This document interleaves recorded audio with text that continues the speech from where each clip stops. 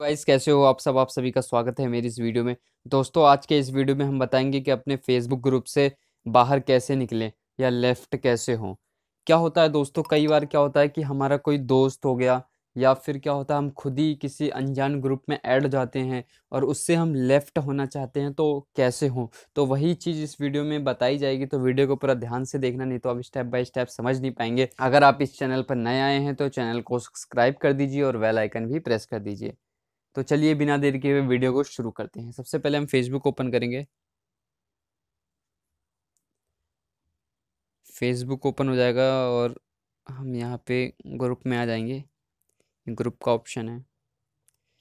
Group पे आने के बाद हम ये नीचे जितने भी ग्रुप में ऐड रहेंगे, सारे ग्रुप हमारे सामने आ जाएँगे। अब हमें जिस भी ग्रुप से लेफ़्ट होना है, हम उसे ढूंढ लेंगे।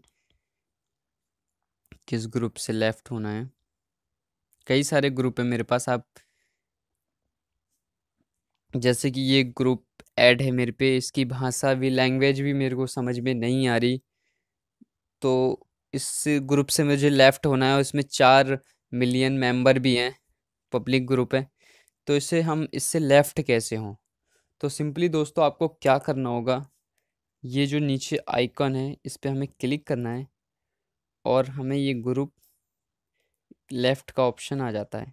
सिंपली हमें इस पर क्लिक कर देना है और यस पे क्लिक कर देना है।